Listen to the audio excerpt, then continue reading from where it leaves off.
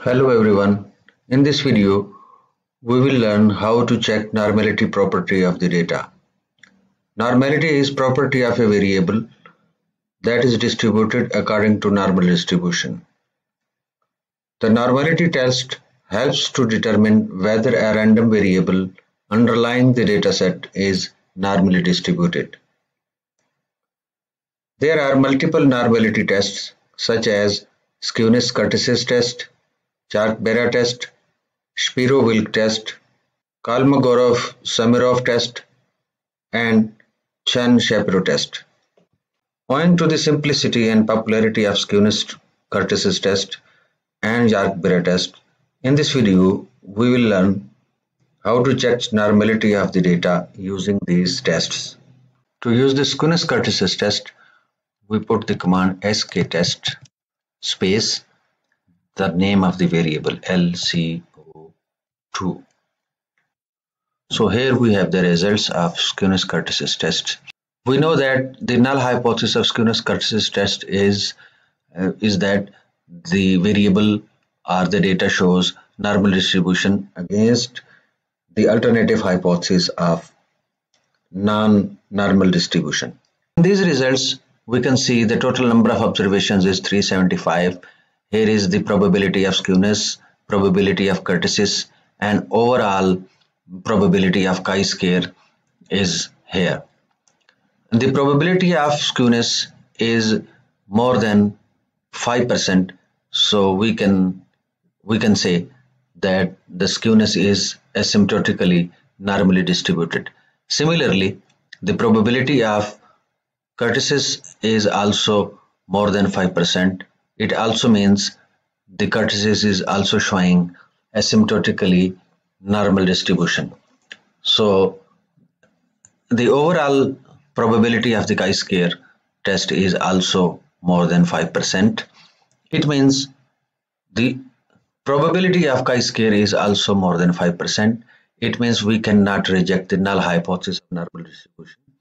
So we accept the null hypothesis that this data variable that is LCO2 is normally distributed. We can also use JB test to check the normality of the variable LCO2. So we put here JB space LCO2 and click OK. So here we can find the results of JB test. The Jarque-Bera normality test value is 3.8 whereas its probability of the chi-square value is 0.1493 which is also which is more than 5%. So we cannot reject the null hypothesis of normality. The Jarque-Bera test is also showing that the LCO2 is normally distributed. Now we can also graph the histogram of LCO2 variable. We put on histogram and our variable is LCO2 uh, we also want to plot density plot. So we click add normal density plot and click OK. So we can see the histogram is also showing the normal distribution of LCO2 variable. We can also test for any other variable. For example uh, we use uh, the Skewness-Kurtosis test again for another variable. For example, I will use for SK test for LRE variable in our datasheet. So we find the estimations. The number of observations is same. The probability of Skewness-Kurtosis is uh, less than 5%. Uh, it means uh, the skewness is not normally not showing normal distribution. The probability of Kurtosis is also less than 5%. It shows that the kurtosis of LRE variable is not asymptotically normally distributed. The probability of chi-square is also less than 5%. It means we can reject the null hypothesis of normality and we conclude that the LRE is not normally distributed.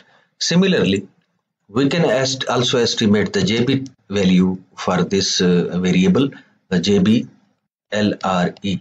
The probability of Jarque-Bera value is also uh, uh, less than 5%. So we also reject the null hypothesis of normality. So the Jarque-Bera test also confirms the LRE variable is not normally distributed. The histogram of this variable, click on histogram and we select the variable. Uh, our variable is LRE.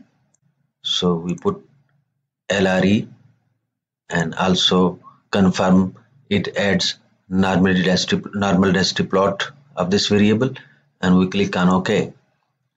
So we can see now the distribution is not normally distributed. For more videos on data analysis and Stata, subscribe the channel and press bell icon. Thank you.